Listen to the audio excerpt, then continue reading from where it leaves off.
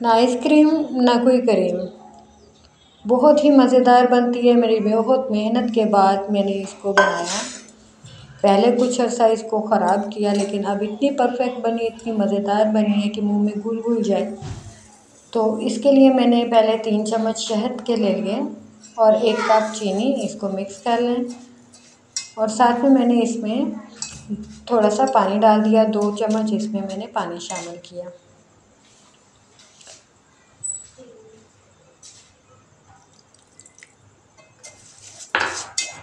अब इसको अच्छी तरह से मिक्स कर लेना है। बहुत ही मज़ेदार बनती है इतनी क्रीमी और यमी कि इस पर मुझे, मेरा दिल चाहा कि मैं इसको बनाऊँ। और इसके लिए मैंने दो से तीन दफ़ा पहले कोशिश की, लेकिन वो मेरे से परफेक्ट नहीं बन रही थी। लेकिन इस दफ़ा मुझे इतनी खुशी हो रही थी कि ये बहुत ही अच्छी और बिल्कुल वही चीज़ बनी वही जो मैं चाह रही थी कि बने। तो उसको मैंने बहुत अच्छे से बनाया। अंडे की सिर्फ़ आपने सफ़ेदी ले लेनी है और चीनी को आपने तब तक पकाना है जब तक उसके अंदर वो अच्छे से डिज़ोल्व नहीं हो जाती, उसमें अच्छे से मिक्स हो जाए, कोई दाना ना रह जाए। और फिर आपने दो अंडों की सफ़ेदियाँ ले लेनी है। जर्दी को आपने बिल्कुल अलहदा कर देना है और इसको अच्छी तरह से बीट कर देना है। ये खूब अच्छी तरह से फूल जाए और एक झाग की तरह से बन जाती है और जो बैठती भी नहीं, अच्छी तरह से बन जाए। तो आपने जो चीनी कैरामलाइज की है शहद में डाल के तो उसमें आपने थोड़ा थोड़ा करके उसको जो हमने एग वाइट बीट की है, उसको आपने थोड़ा थोड़ा इसमें मिक्स करना है। मिक्स नहीं होती तो आपने जो थोड़ा सा ठंडा हो गया था मेरा कैरामल तो उसको आपने चूल्हे पे रखना है और हल्की आँच पे, जैसे दम की आँच होती है ना, उस पर आपने उसको रख देना है और साथ साथ आपने इसको मिक्स करते जाना है। फिर ये बहुत ही अच्छे से मिक्स हो जाएगा। इस तरह मैंने इसको आराम से, बहुत आराम से इसको मिक्स किया। तो ये बहुत ही अच्छी तरह बन गया। अभी आप बनेगा तो आप देखेंगे कितना मज़ेदार और कितना अच्छा मीठा बनता है। आप अगर खाने की डिश में एक ये इजाफ़ा करते हैं तो ये बेहतरीन इजाफ़ा होगा। स्वीट डिश के तौर पे आप इसको बनाएँ या बच्चों के लिए आप वैसे इसको बनाते हैं तो जो बहुत ही शानदार है। मार्श जो है, ये मेल्टेड मार्श बिल्कुल वही लुक है और वही चीज़ है, लेकिन उससे ज़्यादा आपकी ये हेल्दी चीज़ है। जब आप इसको मिक्स कर लें तो उसके बाद आपने बीटर से इसको तब तक बीट करना है, चार से पाँच मिनट, ताकि ये बहुत अच्छे से फ्लफ़ी हो जाए। अब ये देखिए कितनी ज़बरदस्त ये क्रीम बन चुकी है, बहुत ही शानदार बनी है। इसकी लुक भी बहुत अच्छी आई है, और बिल्कुल ये आपको मार्शमेलो का ही जायका भी देगी। जिन बच्चों को तो मार्शमेलो बहुत पसंद है तो उनकी तो ये ईद होने वाली है।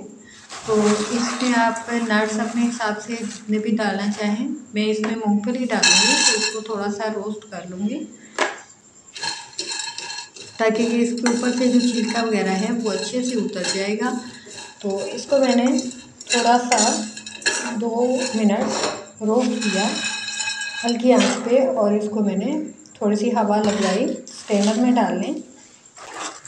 हवा लगवाने के बाद आप इसको ज़रा ज़रा भलेंगे तो उसके ऊपर से छिलका जो है वो रिमूव हो जाएगा। बाकी आप चाहें तो हाथ से अलग अलग करके उतार सकते हैं, लेकिन मुझे इस तरह से कुछ तरा हुआ कुछ नहीं, वो अच्छा लगा। तो मैं इसमें ये अच्छी तरह से मिक्स कर दूँगी। ये जब मुँह में आता है, दाना खाते हुए तो ये बहुत ही अच्छा टेस्ट देता है। तो इस तरह से हमने इसको मिक्स कर लेना है। अभी जब हम इसको स्टेबल करेंगे तो ये इसमें बहुत ही अच्छे से स्टेबल हो जाएगी। हम इसको दो पार्टीशन में कर लेंगे। इस, मैंने छोटा एक, छोटा सा पॉट ले लिया उसके अंदर मैं ये बटर पेपर लगाऊँगी। इसके अंदर से इजीली इसको रिमूव किया जा सकता है। अगर आप शापर वगैरह लगा के करते हैं तो भी ठीक है। उसमें से भी वो आसानी से रिमूव हो जाता है। अगर आप इस तरह से इसको नहीं भी करते हैं, इस तरह नहीं डालते हैं तो आप इसको किसी भी और बर्तन में, खुले मुँह के बर्तन में आप या जैसे भी एक ही बर्तन में आप इसको रख सकते हैं, आप वैसे भी इसको निकाल सकते हैं कि जितनी ज़रूरत है आप उतना इसको निकाल लें। बेशक उसकी कटिंग वगैरह आप ना करें। आधा उसको हमने वैसे डाल दिया और जो बाकी का आधा है, इसके अंदर मैंने हल्का सा ग्रीन कलर जो है वो शामिल करके अच्छे से मिक्स कर लिया। और मुझे लाइट सा कलर चाहिए था। तो मैंने उसके अंदर हल्का सा ग्रीन कलर डाला ताकि मुझे वो पिस्ते का कलर दे। तो उसके लिए मैंने एक और बर्तन ले लिया। उसके अंदर भी मैंने ये लगा लिया बटर पेपर और जो मैंने ग्रीन कलर का मार्शमेलो बनाया है यमी टॉफ़ी बनेगी बच्चों के लिए। बहुत ही बच्चे बड़े सब पसंद करेंगे इसको। और ये इतनी मज़ेदार होती है कि मुँह में घुल जाती है। आपको इसको बहुत ही आपको ये पसंद आएगी। आप इसको बना के देखें, आपको ये बनानी पड़ेगी, आपके बच्चों की फरमाइश बढ़ जाएगी। बल्कि आप खुद से भी आपका दिल चाहेगा कि आप इसको बना के इकट्ठा आप इसको काफ़ी मकदार में रखेंगे। कि आप पड़ा है तो किसी टाइम पे आप चलो हल्का फुल्का इंजॉय हो जाता है। तो इस तरह आप इसकी ये सेटिंग कर लें, इसको फैला लेना है सारी ट्रे में और उसके ऊपर नट्स वगैरह जो है वो आप डाल दें बारीक कटे हुए। तो इस तरह मैंने उसके ऊपर जो नट्स हैं, मैंने उनको बारीक कुतर लिया और उसके ऊपर मैंने इसको वही डाल दिया। अगर नाइट जो है वो पड़ा रहा रेफ्रिजरेटर में। मैंने रात को इसको फ्रीज़र में रखा। तो उसके बाद इसको मैं ये निकाल रही हूँ। और इसको मैं जो पेपर है वो रिमूव करूँगी। तो ये देखिए कितनी आसानी से ये रिमूव हो गया। वरना इस तरह तो इसको हाथ नहीं लगाया जाता।